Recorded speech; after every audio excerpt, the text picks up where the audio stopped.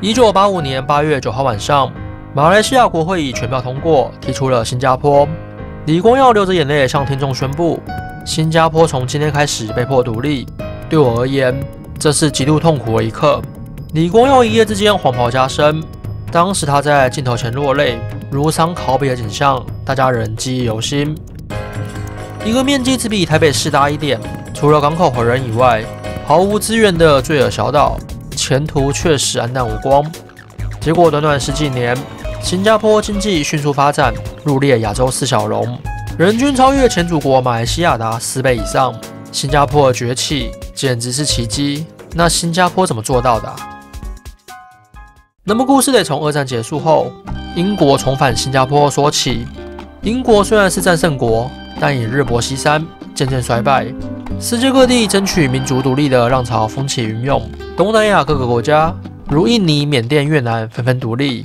而这时，英国在这个区域的势力范围，除了马来半岛的马来亚、新加坡外，还有婆罗洲岛东北部的沙阿越、沙巴与汶莱。而其中经济实力较强的马来亚与新加坡，独立的呼声不断。一九五零年八月，新加坡未来国父李光耀在剑桥大学毕业后返回新加坡。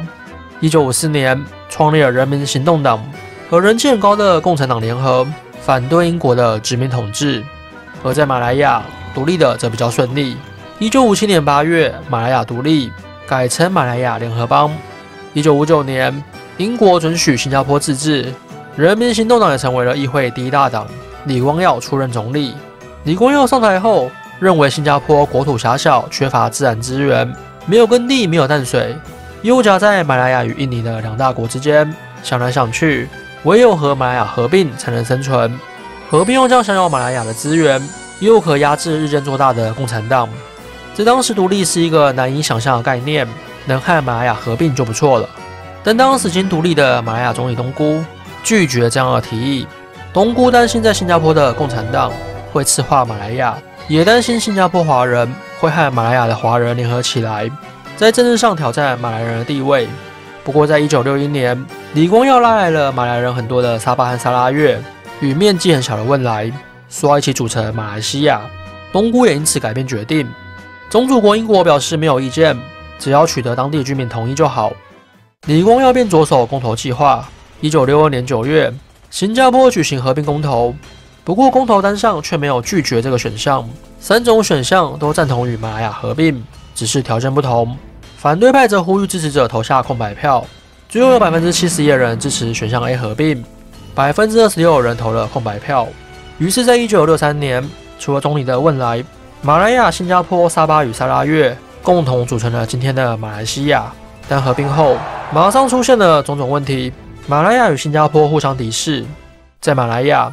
以马来族为主体的马来民族统一机构，简称巫统，与华人组成的马来西亚华人工会，简称马华，以及代表印度族群的印度国民大会党，简称国大党，三者共同联合起来，组成执政联盟，也就是今天的国民阵线。原本东姑向李光耀保证，只要行动党不要来马来亚选举，联盟也不会干涉新加坡政治。但在一九六三年的新加坡地方选举中，联盟违背了协议。以扶植盟友方式，在马来人占多数的选区派出了四十二名人选，试图夺取新加坡的执政权，结果全军覆没，还吐出了原本的七个席次。而取得大胜的新加坡行动党，为了报复巫统的言而无信，隔年投入了马来亚大选，而且还赢得了一个席次，让两党的关系进一步恶化。马来人为主体的巫统，在马来亚一直都是一党独大。并拉勒马华和国大党组成了执政联盟，目标建立马来人的马来西亚。马来人在联邦内享有特权，但以华人为主体的新加坡行动党喊出了马来西亚人的马来西亚。除了华人外，也积极拉拢印度人和东马原住民，呼吁人人平等，不分种族或宗教。行动党在马来亚抢下一个席次后，加上新加坡席次，一跃成为马来西亚最大的反对党。马来西亚政府无法忍受一个高度自治、又是华人掌控的州，还有一个这么优秀的领导人，再给你干几年，不就不把乌统放在眼里？担心李光耀迟早会把马来西亚走完捧去。而极端的马来主义者说李光耀是国家的叛徒、麻烦制造者。东姑则较温和，很直白地说，马来人还没准备好，在没有特权的情况下与华人竞争。另外，隔壁印尼也在煽风点火。印尼的开国总统苏卡诺有一个大国梦。苏卡诺认为，印尼和马来西亚同文同种、相同宗教，只是被不同的殖民者殖民，才会变成两个国家。两国应该成立大印度尼西亚，威胁要对马来西亚展开军事行动，并在马来西亚、新加坡挑起多次的种族骚乱。由于印尼煽起了马来亚与新加坡之间的种族议题，最终双方谈判破裂。在一九六五年，新加坡被踢出了马来西亚联邦，李光耀为此而落泪。而被独立的新加坡，首先要面对的是国防问题。印尼与国内的共产党虎视眈眈。李光耀迅速寻求国际承认，并加入了联合国大英国协。前宗主国英国也拉了澳洲与纽西兰，说会保护新加坡的安全。李光耀在与同是边缘人的以色列与台湾合作。从1975年开始，每年都会派人到台湾受训，就是星光部队。除了主权问题，新加坡国内也矛盾重重，失业率高达百分之十二，而且住房短缺、缺乏土地、自然资源等，随时可能会引发内乱。简单来说，新加坡刚独立，国家贫穷落后，人民生活困难。新加坡在殖民时代什么都不会，只有转口贸易，毫无工业基础。因此，李光耀建立了工业区，发展密集工业，并通过注税优惠吸引国外资金。国际各大石油公司都在新加坡设立炼油厂。新加坡的地理位置好，加上本来就有现成的港口，则表示新加坡的工业产品很容易找到市场。且原料价格便宜，可以进口原料加工，制造更高价值的产品，如进口便宜的原油，提炼后卖到世界各地，这是个赚钱的行业。到了一九七年代，新加坡已是世界第三大的炼油中心，人家可是妥妥的工业国。而在教育方面，则采用双语教育，英语是各族群间的通用语，也方便与外国人做生意。新加坡是以华人为主的社会，华人的特性就是勤奋、聪明、服从性高，这种人好用啊。马六甲海峡是公海，新加坡不能收取过路费，只能赚些补给。不过马六甲海峡长一千公里，新加坡只占了五十公里，停靠新加坡不是必要的。如马六甲、槟城、巴生港与丹戎港都是不小的港口，但大多的船只还是选择新加坡，就是因为效率。新加坡可以成功。不单是地理位置，更多是人和。简单说，高度开放的经济政策，政府对外资与本地企业的一视同仁，加上独裁一党独大的政府，提供了稳定的政治环境，再配合英国人留下的法治基础，新加坡政府非常廉洁又有效率，是真正的公平、公正、公开。此外，优惠税收、良好基础建设以及训练有素的劳工，都让新加坡成为外商投资的天堂。李光耀如果放在游戏里面，就是一个智力、政治魅力全部一百的超人。他虽然是威权主义者，但都能以身作则，用高标准检视自己。纵使他定下众多的严苛规定，不过他自己都能做到，进而要求所有的人。二战结束后的东南亚也出现过很多独裁强人，如菲律宾的马可仕、印尼的苏哈托、柬埔寨的隆诺，以及泰国沙利与缅甸的尼温等。但国家因此变强盛吗？一九六零到八零年代，欧美产业转型，而中国却在文革大跃进。不久，越战开打，美国只要在某个区域打仗，就会带动那个区域的繁荣。周遭日本、韩国、台湾与新加坡都吃了不少越战红利，因此天时地利人和，造就了新加坡奇迹。一九八零年代，新加坡的失业率降到了百分之三以下，GDP 每年成长超过百分之八，人均 GDP 高于西欧国家。是世界上最繁忙的港口，也是最繁荣的国家之一。马来西亚与新加坡历史上分分合合，在马来西亚踢出新加坡后，两国倒也相安无事。两国都是英联邦、东协和五国联防的正式成员，在经济、国防上紧密合作。不过，两国在淡水上仍有争端。新加坡与赤道，雨量充沛，但因为国土较小，没有适合储水的地方，境内没有完整的大河或者大湖。因此，缺水的新加坡只能跟水资源丰沛的马来西亚买水。马来西亚倒也开心，水对他们来说根本用不完，算是无本生意。于是，在一九六一年和一九六二年，两国签订协议，新加坡可以从马来西亚的柔佛河抽取二点五亿加仑的水。那个时候，两国属于蜜月期，正讨论合并的问题。新加坡也没特别有钱，因为自己人嘛，水费一次一次收一下，每一千加仑收费三分马币，约零点二二块台币。不过作为回报，新加坡要卖回处理过的净水，价钱为每一千加仑四块台币。协议持续到二零六一年，后来西马两国闹翻，新加坡脱离马来西亚，但仍继续买便宜的水。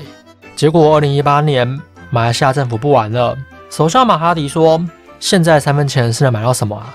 认为至少要涨十倍。新加坡政府则要求尊重合约，且为了从柔佛河抽水，新加坡砸下两百亿台币以上去处理基础建设。新加坡以市价两折价钱把处理后的水卖回柔佛，认为不该涨价。不过水争议有可能只是马哈迪的谈判筹码。原本新马两国说好要共同新建吉隆坡新加坡高铁，二零一八年马来西亚以经济困难为由取消，导致大马要赔偿三十八亿新台币的违约金。马哈迪检讨水价，或许只是要降低索赔而已。不过这些都是政治角力问题，属于大人的事情，一般人也不太关心。对于市井小民来说，可能比较关心肉骨茶的发源地。如果问马来西亚华人，几乎所有人都会说肉骨茶起源于巴生港；而问新加坡人，他们会说肉骨茶百分之百来自新加坡。虽然起源地不同，但两者有着相同的故事。据说在二十世纪初，许多福建人下南洋。来到新马从事苦力工作，而这些苦力在搬运货物的过程中，偶尔会掉下一些中药材。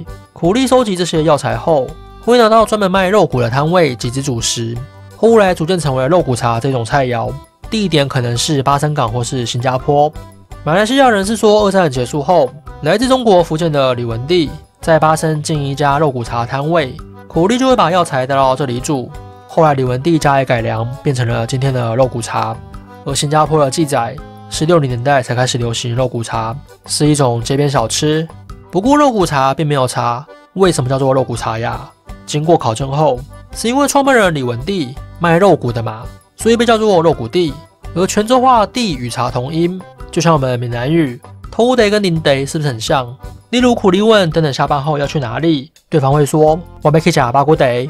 久而久之，肉骨地就变成了肉骨茶，而且“八骨”的“八”是福建话。不是潮州话的呢，表示巴库德是来自福建，所以新加坡的白汤肉骨茶是来自潮州的清淡口味，是改良版的。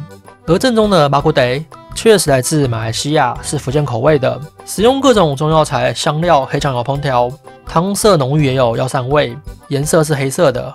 而其中 A One 更是在马来西亚与新加坡都是家喻户晓的第一品牌，也是台湾网友推荐一定要带回来的美食伴手礼。相信去过西马旅游的朋友一定不陌生，每一个大马人厨房都能看到 A One 料理包，完完全全保留了最道地的风味。目前全球二十多个国家都可以买到，而且 A One 的直营电商也终于来到台湾，原装进口超安心，不用担心买到水货了。那最后我用最简单的方式教大家煮一下。首先准备材料：A One 肉骨茶一包，带骨的猪肋排，带一皮蒜头，还有一些配料。调味料有酱油、硬油、胡椒粉、姜片与米酒。蒜头切掉带皮。整颗热才倒立正中，首先冷水中加入姜片与米酒，可减少等等煮排骨的腥味。再把洗干净的排骨丢进去，排骨看你想吃多少就买多少。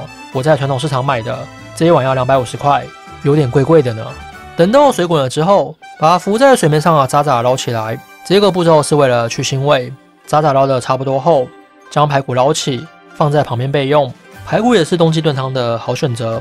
接着准备另一个锅子，加入一点五公升的水。煮沸后，加入咱们的 A One 肉骨茶汤料包，再把刚刚煮好的排骨与洗干净的带皮蒜球全部丢进去，以中小火煮个三十分钟，把排骨给煮软。如果想节省时间，排骨可以先用电锅蒸一下；如果不赶时间，就小火慢慢煮。三十分钟后，排骨也入味了。接着我们来调味，酱油是巴古德的灵魂，在马来西亚会放大马的黑酱油，而我听我的大马朋友说，台湾印油的味道与黑酱油相似，所以我就用印油取代。再加入酱油、盐巴，因为不是专业的，可以边试味道边加，以免太咸或太淡。其实最早叶万就是经营中药行起家的，秘密配方从一九八六年传承至今，还加入了世界第三昂贵的香料小豆蔻，让汤头多一种柠檬香。那煮到这里也差不多了，最后跟煮火锅一样，看你喜欢吃什么就加什么。我是准备了一些冬瓜、豆皮与菇类，这些食物的穿透性都不强，不会跟我们的麻锅得起冲突。最后我们就完成了一锅香喷喷的大马正宗肉骨茶。记得把香料包取出，然后就可以上桌啦。好，下面已经煮好了，这一碗就是大马原汁原味的马古 day。那吃之前呢，要加个胡椒粉，加一下，这样子味道更好。先吃这个排骨，